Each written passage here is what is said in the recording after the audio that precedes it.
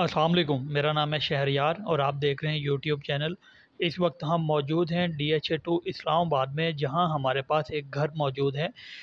Ten मरला की ये कटिंग है और इस घर का जो टोटल साइज़ है वो बारह मरले है।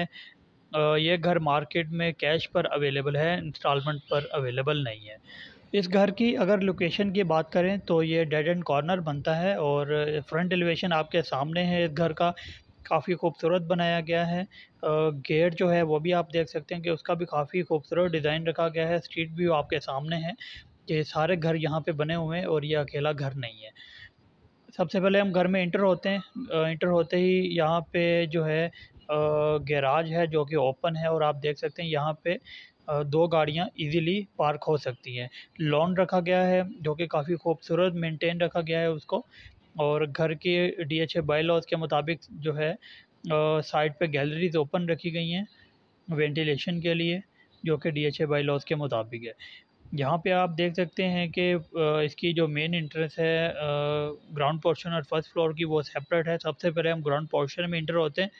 ग्राउंड पोर्शन में इंटर होते ही हमारे सामने जो है, ये टीवी लॉन्च आता है जो कि फानूस ड्रॉप किए गए हैं, जो कि काफ़ी खूबसूरत हैं। और साथ ही हमारे इंटर होते ही राइट साइड पे फ़र्स्ट फ्लोर के लिए सीढ़ियाँ जो है स्टेयर्स ऊपर जाती हैं, उसका रास्ता है और साथ ही पाउडर रूम है।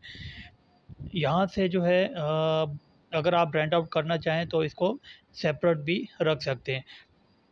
ये एक पाउडर रूम है जो कि छोटा सा है लेकिन खूबसूरत डिज़ाइन किया गया है और साथ ही ड्राइंग रूम है। ड्राइंग रूम की इंटरेस्ट जो है पाउडर रूम के साथ रखी गई है और वेंटिलेशन के लिए विंडो रखी गई है। ड्राइंग रूम से निकलते ही हम दोबारा टीवी लॉन्च में आ जाएँगे और टीवी लॉन्च से होते हुए हम किचन में इंटर होंगे। किचन आप देख सकते हैं कि काफ़ी खूबसूरत डिज़ाइन किया गया है बर्नर यूज़ किया गया है और सिंक जो है सिंक के ऊपर विंडो रखी गई है वेंटिलेशन के लिए और कबर्ड जो है इसकी, वो भी अच्छी डिज़ाइन की गई है। यहाँ से हम अपने फ़र्स्ट जो फ़र्स्ट बेडरूम है, उसमें इंटर होंगे।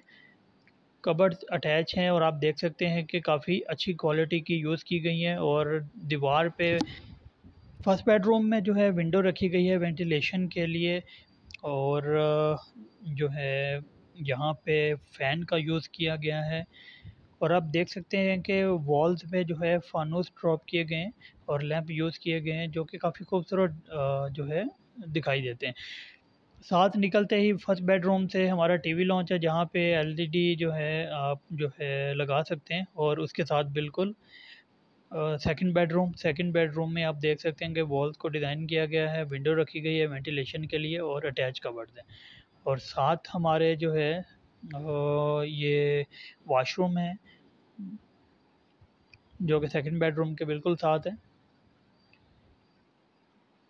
इस बेडरूम में आप देख सकते हैं कि कबर्ड अटैच की गई हैं और बैक पे ये विंडो है, ये थर्ड बेडरूम था हमारा और ये नीचे बैक पे आप अपन देख सकते हैं कि यहाँ पे गैलरी ओपन रखी गई है, जो कि रूम की बैक साइड पे डोर ओपन होता है। ये ग्राउंड पोर्शन का टूर था और ग्राउंड पोर्शन पे आप देख सकते हैं कि किचन और थ्री बेडरूम की अकोमोडेशन है और ड्राइंग रूम भी साथ है और फ़र्स्ट फ्लोर को भी रास्ता यहीं से जाता है। यहाँ से हम अपने जो है फ़र्स्ट फ्लोर की तरफ़ जाएँगे और वहाँ पे देखेंगे कि ग्राउंड पोर्शन की तरह डिज़ाइन है या उसको सेपरेट रखा गया है। फ़र्स्ट फ्लोर की तरफ़ स्टेयर चढ़ते ही हमारे सामने जो है बेडरूम्स वगैरह आते हैं इंटर होते ही सबसे पहले टीवी लॉन्च टीवी लॉन्च जो है साथ किचन है और टीवी लॉन्च में आप देख सकते हैं कि फ़ैन और फानूस ड्रॉप किए गए ये हमारा ड्राइंग रूम है और ये फ़र्स्ट फ्लोर का जो है फ़र्स्ट बेडरूम में कबर्ड अटैच है विंडो रखी गई है वेंटिलेशन के लिए और यहाँ से हम जो है अपने किचन में जाएँगे। किचन का डिज़ाइन आप देख सकते हैं कि सेम ग्राउंड पोर्शन की तरह ही डिज़ाइन किया गया है इसको। किचन के बाद हम अपने सेकंड बेडरूम में जाएँगे। सेकंड बेडरूम में आप देख सकते हैं कि कबर्ड अटैच की गई हैं विंडो रखी गई है वेंटिलेशन के लिए। कमरे जो है ज़्यादा बड़े नहीं हैं, ये हमारा थर्ड बेडरूम है और इसमें भी कबर्ड अटैच है और विंडो वेंटिलेशन के लिए रखी गई है। टीवी लॉन्च की आप विंडो देख सकते हैं कि यहाँ पे भी विंडो वेंटिलेशन वगैरह के लिए रखी गई है। ये हमारा थर्ड बेडरूम है। इसमें भी अटैच कवर्स हैं विंडो रखी गई हैं वेंटिलेशन के लिए। बैक पे आप जो है अपना बैक का व्यू ले सकते हैं इसको ओपन करके। और, दीवार पे यहाँ पे भी जो है लैंप वगैरह यूज़ किए गए हैं। इस घर की अगर प्राइस की बात करें तो इस घर की जो प्राइस है, वो पाँच करोड़ है और ये कैश पर अवेलेबल है। अगर आप ये घर बाइंग करना चाहते हैं तो आप हमारे दिए गए नंबर पर रबता कर सकते हैं। और अगर आप मज़ीद इस तरह की वीडियोज़ और घर बाइंग करना चाहते हैं तो आप हमारे दिए गए नंबर पर रबता कर सकते हैं। तो उम्मीद है कि ये वीडियो आपको अच्छी लगी होगी और यह घर पसंद आया होगा। इन हम अपनी नेक्स्ट वीडियो में। आपसे फिर मिलते हैं एक नई वीडियो के साथ। अपना ख्याल रखिएगा। अल्लाह हाफिज़।